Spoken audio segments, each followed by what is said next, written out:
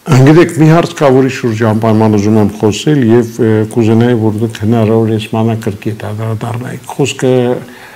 Հայաստանի առաջին նախագահ Լևոն Տեր-Պետրոսյանի վերջին հանրային հերոստատեսության տված հարցազրույցին է վերաբերվում։ Նախ ինչ տպավորություն ստացաք այդ հարցազրույցից եւ ինչ կարող եք առանձնացնել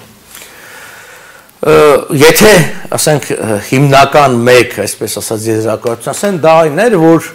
մենք այլևս ոչինչ չենք կարող անել, պետք է պարզապես հաշտվել ես իրականության հետ եւ եթե քեզ բռնաբարում են, փորձեք հաճույք ստանալ։ Սա է իր կոչը։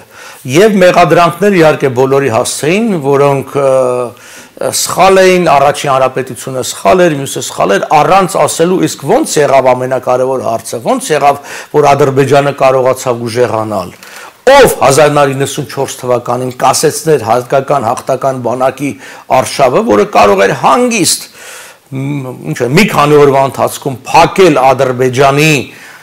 նավթի եւ գազի հնարավոր արտահանման ճանապարհները, Ադրբեջանը երբևէ չէր կարողանա հարստանալ եւ երբևէ այդ ուժը չէր կարող ունենալ դրա մեղավորը Լևոն Տեր-Պետրոսյանն է ինչքան էլ որ Ելցինն է խնդրել Ելցինն է զանգել ինքն է կասեցրել, ինքն է զանգարել մեր հրամատարությանը։ Էլ չեմ ասում, որ չպետք է մոռանանք, որ նույն 90-91 թվական եւ ավելի ուշ հնարավորություն կար եւ դրա վկաները կան բարձր զինվորականություն, որ ռուսներն իրենք էին խնդրում ռուս սահմանապահներին հայկական զորքերը մտցնել Նախիջևան։ Դա էլ էլի Լևոն Տեր-Պետրոսյանը չի համաձայնվել, որի պատճառով այդ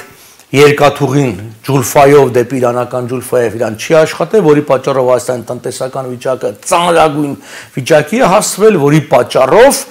100 հազարավոր մարդիկ, որոնք կարող էին շարունակել մնալ Հայաստանում ապրել, արտագաղթել են։ Այսինքն այս պատճառների մասին խոսք չկա եւ լիքը պատմական կեղծիքների հիման վրա դատողությունն սխալ է, ասենք մի երկու կեղծիքի մասին ասեմ, որ པարզ լինի։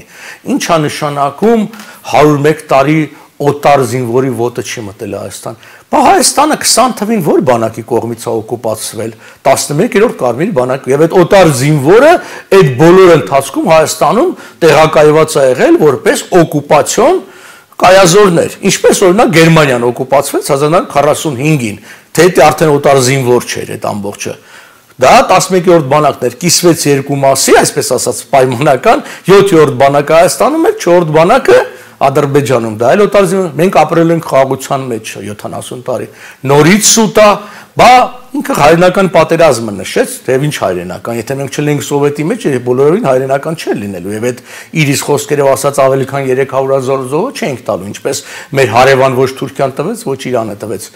բայց մենք կռվել ենք ֆինների դեմ որոնց հետ խնդիր չունեին կռվել էինք մոնղոլների դեմ կռվել ենք չինացիների դեմ կռվել ենք աղանցիների դեմ եւ այդ բոլոր պատերազմերին կռվել ենք նույն ձևով ինչ որ Աքեմենյան Իրանում, ասենք, երբ որ սատրապություն էինք, զորք էինք ուղարկում կամ չգիտեմ Սասանյան Իրանում, դա է եւ ներկայացնել ինչպես ինքնա փորձում ներկայացնել երկրորդ հանրապետություն մենք պետություն ենք մենք պետություն չենք սովետական հայաստանը սսն վարչա տարածքային միավոր էր ընդամենը այո եւ որպես սսն վարչա տարածքային միավոր որոշակի